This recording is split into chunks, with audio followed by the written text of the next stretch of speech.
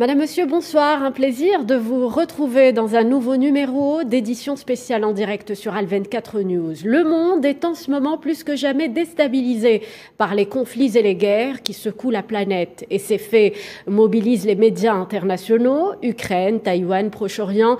L'enchaînement des événements dans ces régions est suivi de près, analysé et décrypté par la presse, les chaînes d'infos et les médias en général. Et dans toute cette effervescence médiatique, il est parfois difficile de déceler le vrai du faux à travers des couvertures ne respectant pas toujours les conventions euh, journalistiques. On va en parler euh, ce soir avec une journaliste française, Anne-Laure Bonnel, et notre invitée ce soir. Bonsoir.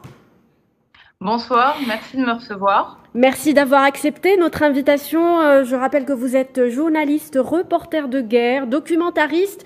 Euh, vous avez euh, réalisé pas mal donc de reportages dans des zones de conflit. Et celui qui a suscité et qui continue d'ailleurs de susciter la polémique est ce film documentaire intitulé Le Donbass, réalisé donc en 2016, donc plus de sept ans, on va dire, avant le lancement de l'opération militaire russe en Ukraine, le 24 février dernier. Le Donbass qui actuellement le cœur, euh, cette région qui est au cœur euh, des conflits entre Kiev et Moscou. Karine Béché-Golovko, bonsoir. Bonsoir. Un plaisir de vous avoir avec nous. Vous êtes juriste, professeur invité à l'université euh, de Moscou. Alors, pour commencer, je me dirige vers vous, Anne-Laure Bonnel. Racontez-nous, on aimerait savoir dans quelles circonstances euh, votre reportage ou votre film documentaire a été euh, euh, réalisé et quel en était à l'époque l'objectif? Alors, l'objectif était d'être au plus proche des civils. Quand je suis partie dans le Donbass en 2015, c'est suite à la découverte du quotidien des civils à Donetsk et Lugansk, qui était plus que précaire et au cœur d'un désastre humanitaire. Je, je, suis partie pour cela à l'époque avec un responsable d'une association humanitaire euh, ukrainien euh, qui euh, connaissait parfaitement la région, qui, est, qui était de Tcherkassy et qui parle couramment aussi bien ukrainien que russe. Donc nous sommes partis dans de très bonnes conditions, aussi bien pour, pour se déplacer, puisqu'il connaissait parfaitement, parfaitement la zone, que pour pouvoir dialoguer, etc. ce qui a motivé mon départ, c'est la découverte de vidéos euh, ahurissante sur euh, des, euh, des, civils ciblés par des tirs ukrainiens, dont l'information était très peu accessible sur les médias occidentaux. Il y avait par ailleurs eu l'incendie d'Odessa, la maison, la, maison des syndicats d'Odessa, qui avait été également très peu médiatisé côté Occident, qui, qui était une véritable un, véritable catastrophe euh, et euh, son nom. Donc ces éléments-là euh, m'ont poussé à partir. J'ai eu l'occasion de me déplacer avec un convoi humanitaire. J'ai pu y aller à quatre reprises. tourner, tourner donc le, film pratiquement sur sur plus de neuf mois et suivre l'évolution de, de du quotidien des civils, mais également des accords ou pas, des accords de Minsk, les fameux accords de Minsk qui sont aujourd'hui au cœur qui reviennent quand même euh, sur, le, débat. Euh, et j'ai pu constater que ces derniers n'étaient pas euh, respectés.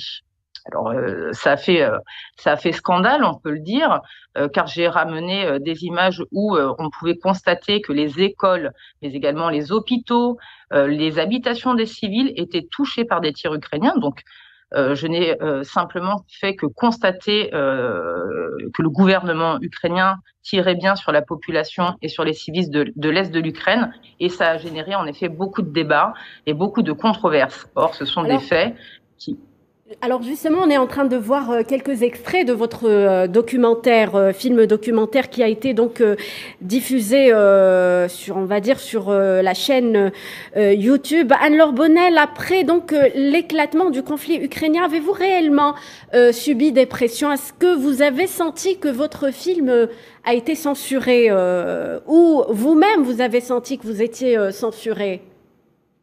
Oui, Oui, oui, oui, euh, oui. Il y a eu une forme de censure aussi bien au niveau du premier, euh, du premier film, qui au départ, je vais être très rapide, a, a, bien marché dans des festivals, a été reconnu par euh, par la presse. Les articles ont été extrêmement positifs et très rapidement, oui. ça s'est arrêté et plus personne n'a parlé du film. C'est une première censure qui est la censure de l'invisibilité.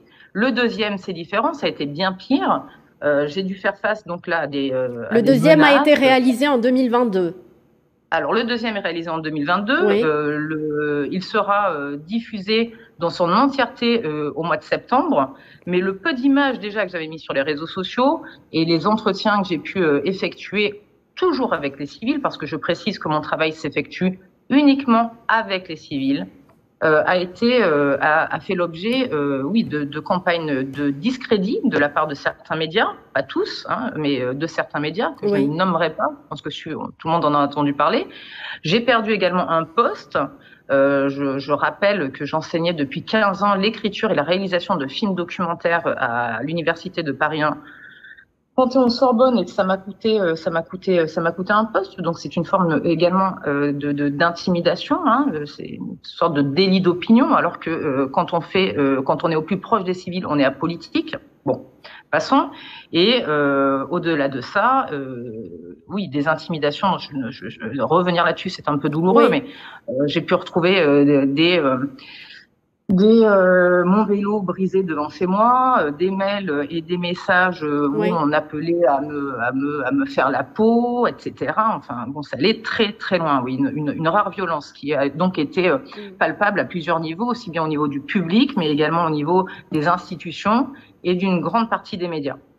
Alors, elle est, est multi, multiforme. C'est quand même très dramatique euh, donc d'écouter euh, ce genre de témoignage. Karine Béché-Golovko, comment expliquer euh, cette situation dans des pays qui prônent la liberté d'expression Karine Béché-Golovko?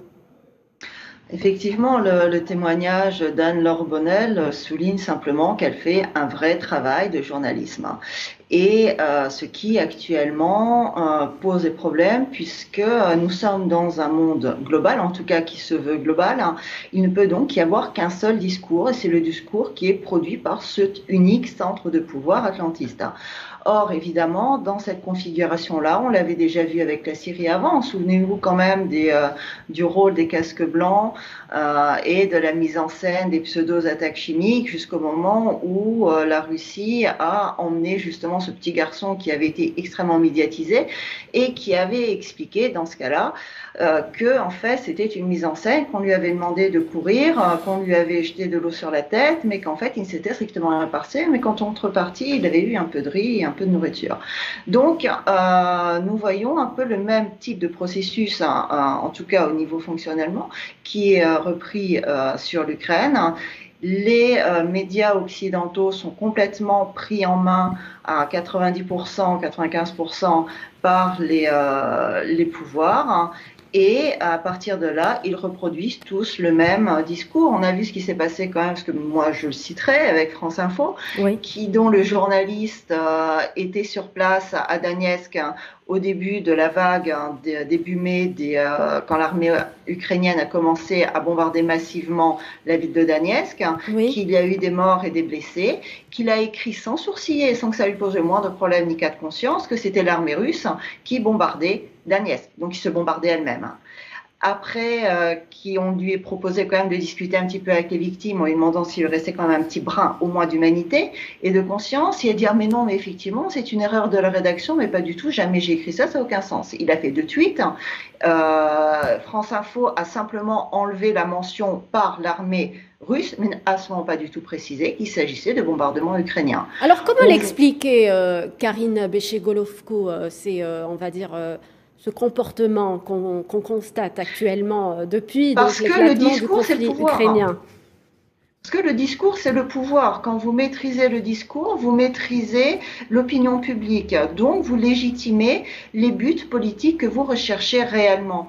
Et dans la mesure où vous monopolisez en plus la production de ce discours, vous tenter de créer une nouvelle réalité qui vous convienne et qui légitime ce que vous faites. Donc, vous ne dites pas qu'il y a des, euh, de l'artillerie dans une maternité, vous dites que l'armée russe a bombardé une maternité.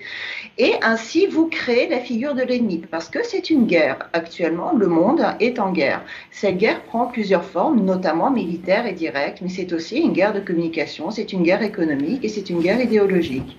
Donc, la maîtrise du discours dans une configuration conflictuelle est absolument fondamentale parce qu'elle permet de maîtriser les esprits, donc de maîtriser l'opinion publique. Et ça, actuellement, c'est un travail euh, de longue haleine puisque nous ne sommes pas arrivés à ce niveau de contrôle du jour au lendemain. C'est un très très long travail par lequel petit à petit les États-Unis et le pouvoir atlantiste ont pris position dans les structures de pouvoir en Europe et dans le monde. C'est pour ça que nous sommes arrivés à cette configuration quasi globaliste que la Russie remet en cause aujourd'hui, ce qui fait d'elle cet ennemi juré évidemment de ce clan.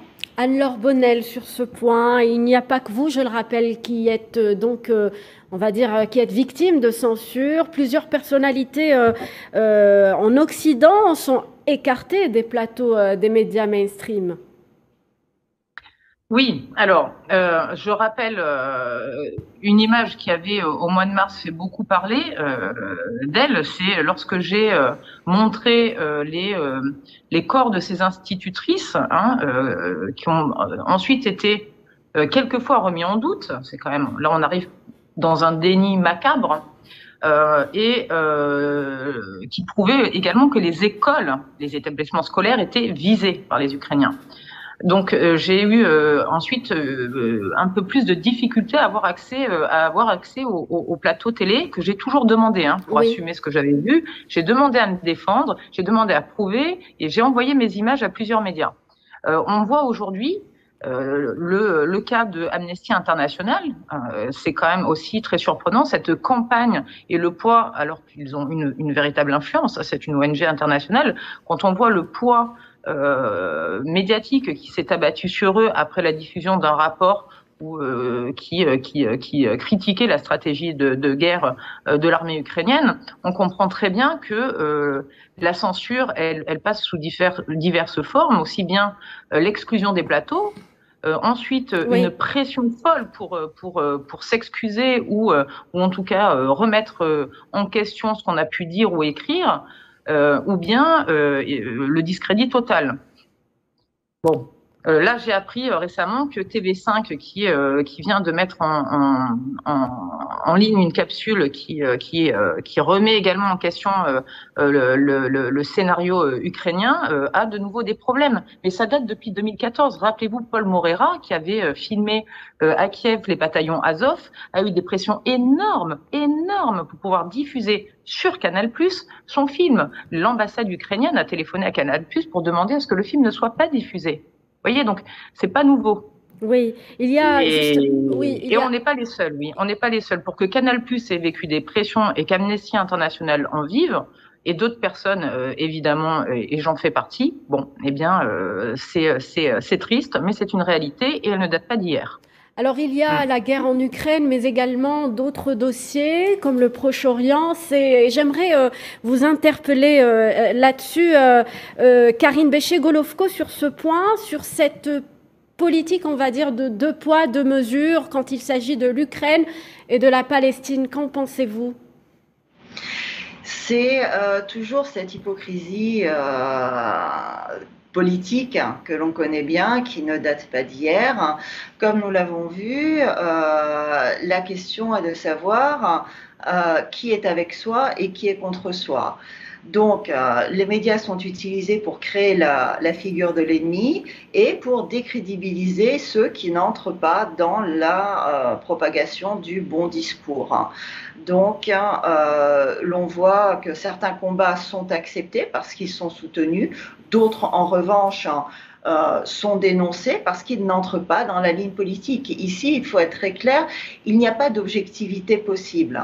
Euh, il y a toujours une question de parti pris. C'est que les médias occidentaux prennent objectivement presque, ce qui est peut-être en fait même euh, étonnant, mais ils prennent objectivement parti et ouvertement parti euh, pour les intérêts politiques défendus par ce clan globaliste et atlantiste. À partir de là, ils ont leur protégé et ils ont leurs démons. Donc, euh, il reste de manière assez. Le discours produit est extrêmement manichéen. C'est toujours les gentils qui sont des gentils, les méchants qui sont des méchants. Et pour reprendre l'exemple d'Amnesty International que Anne vient de, citer, c'est quand même effectivement aberrant que euh, après ce rapport, toute la discussion tourne autour d'Amnesty et ne tourne pas autour de l'Ukraine. Et là, l'on voit bien justement ces deux poids deux mesures. Euh, sur le dossier du Proche-Orient, Anne-Laure Bonnel, euh, je ne sais pas, j'aimerais euh, prendre l'exemple de, ce qui, de ce qui a arrivé au journaliste Alain Grèche, dont l'interview a été supprimée au sujet de la dernière agression israélienne à Gaza. Quelle est votre réaction en tant que journaliste? Écoutez, euh, c'est terrible ce que je vais vous dire. Plus rien ne m'étonne. Euh, c'est une catastrophe parce que la liberté d'expression euh, que l'on prône euh, devrait être respectée sur tous les conflits et pour toutes les victimes. Euh, ce qui se passe aujourd'hui avec le cas de ce journaliste est inacceptable. Je rappelle également, là, ça, ça, ça, on regarde les derniers événements tragiques parce qu'aujourd'hui le monde brûle, hein, faut le dire, de façon extrêmement violente.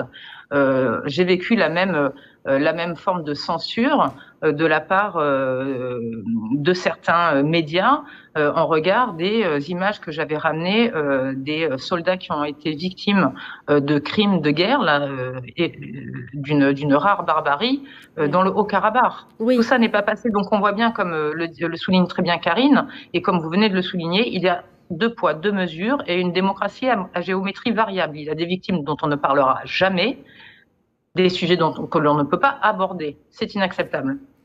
Euh, donc, ce, ce, s'auréoler euh, de, droits de l'homme, euh, de démocratie et passer sous silence euh, les, certaines victimes, c'est une considération bien étrange pour, pour un système qui se dit démocratique et prôner la liberté d'expression totale.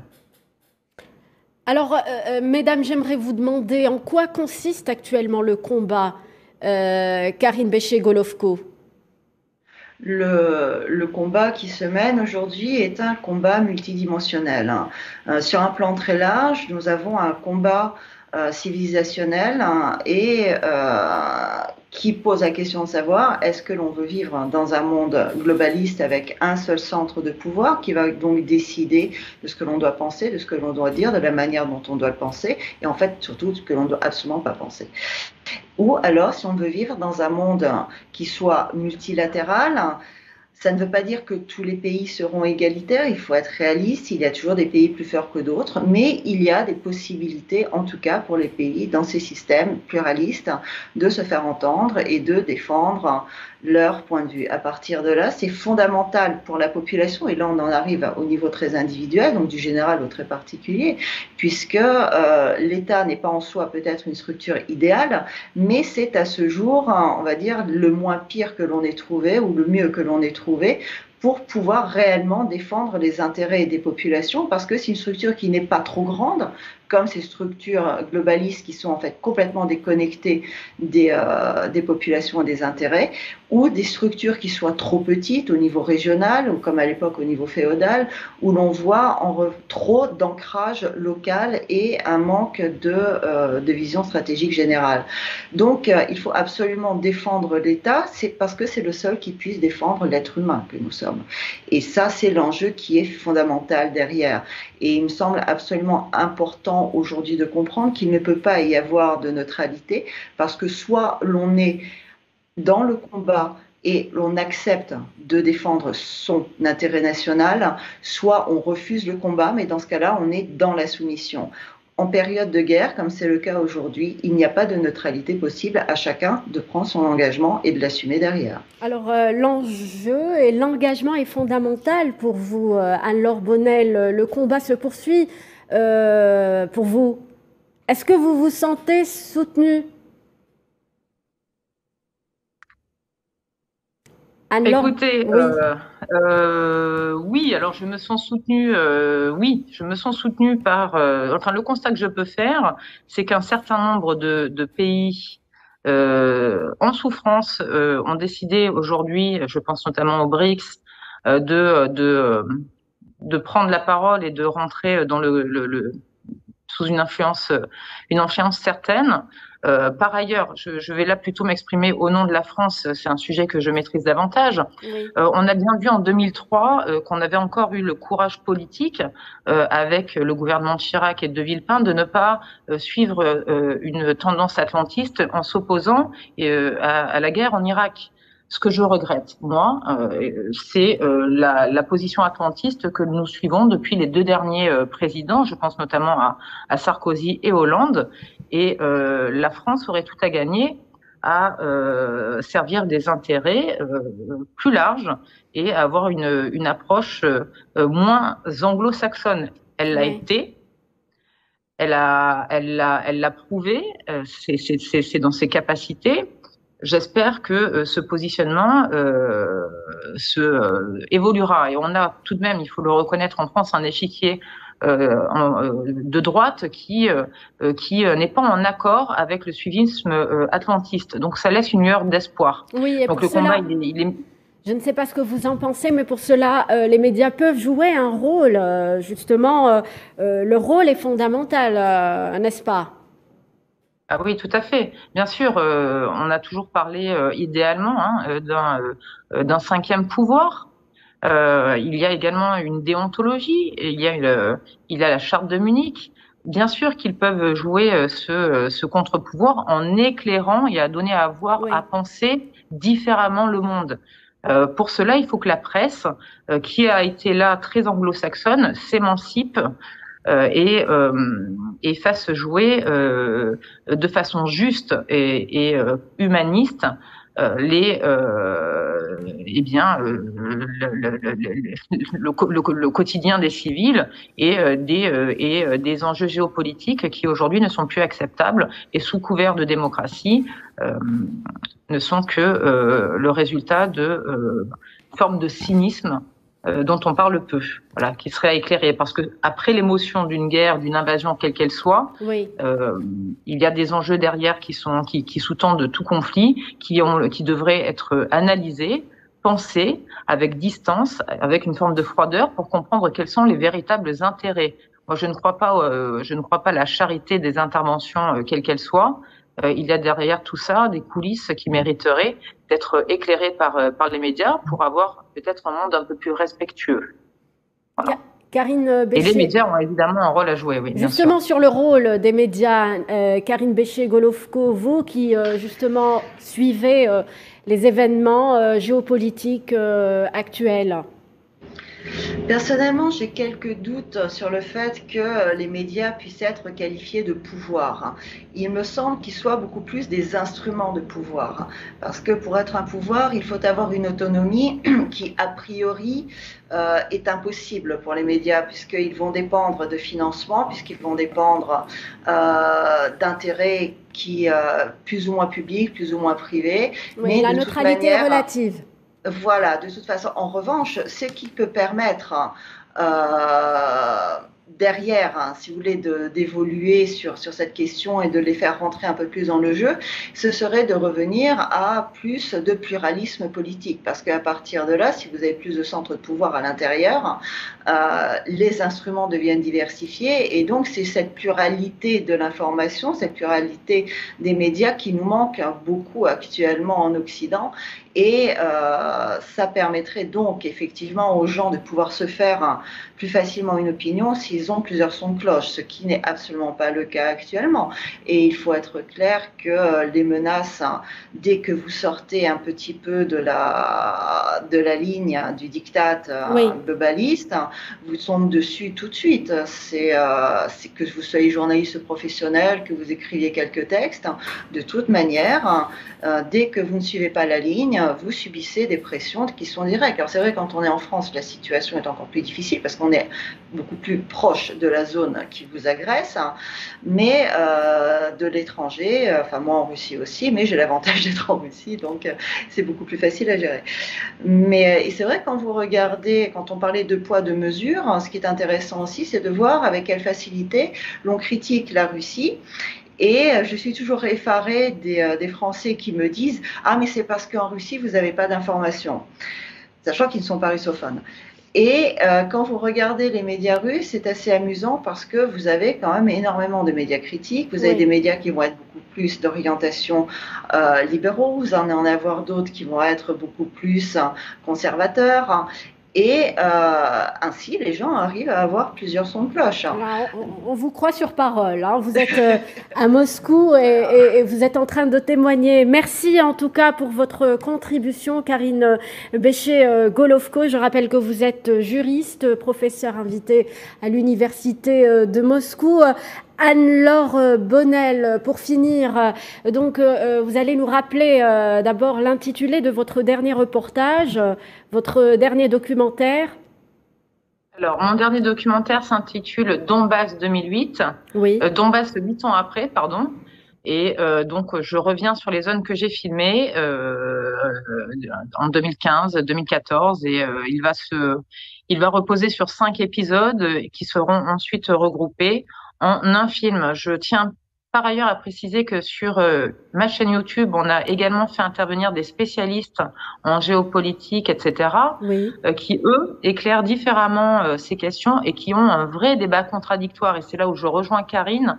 Ce qui manque aujourd'hui dans les médias français, c'est le débat contradictoire. Et, et, la crise ukrainienne a été là un exemple extrêmement révélateur de l'absence totale de, de débat, d'opinion d'idées et euh, c'est une catastrophe euh, intellectuelle. Donc nous, on l'a, on l'a instauré euh, également sur sur YouTube en faisant intervenir Monsieur Juillet, Madame Galacteros, le général Vincent Desportes, qui eux ont éclairé sur le temps long, parce que pour exprimer une idée, il faut du temps long, sur une heure en moyenne, toutes les incohérences du traitement médiatique mais également qu'est-ce qui s'est passé avant le 24 février pour qu'on en arrive là, mhm. hein, parce que il y a, y a, bien, euh, il y a bien une histoire autour des événements. Et un conflit ne démarre pas comme ça. Euh, du jour au lendemain, euh, sans des prémices qu'il est indispensable de maîtriser pour comprendre ce qui se passe depuis le 24 février en Ukraine. Le message que vous voulez livrer à travers donc une télévision algérienne?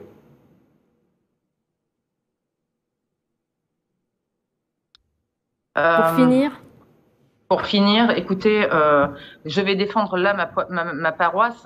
Euh, il faut réussir à, trouver des personnes qui, qui, qui de façon indépendante, et c'est ce que j'ai fait des médias, parce que les films que j'ai faits n'auraient jamais été diffusés dans les médias français, croyez-moi. Hein, j'ai toujours eu des problèmes de censure, on me demandait de couper certaines scènes. Donc, aller au plus proche, en, toute indépendance, des civils, et ensuite écouter des personnes, euh, là plutôt des géopolitologues, des historiens, des gens qui ont une pensée longue et complexe et non pas que les débats, euh, les débats télévisuels qui, euh, qui sont pris là dans un flux en continu qui empêchent le développement d'une pensée complexe. Donc il faut pouvoir se nourrir de plusieurs sources, plusieurs sources. Euh, qui permettent de comprendre avec complexité le monde dans lequel on vit. Eh bien, merci euh, Anne-Laure Bonnel euh, de nous avoir livré votre témoignage. Merci euh, à Karine Béché-Golovko d'être intervenue dans cette émission. chers téléspectateurs, merci de nous avoir suivis. Restez sur Al24 News. Très bonne soirée.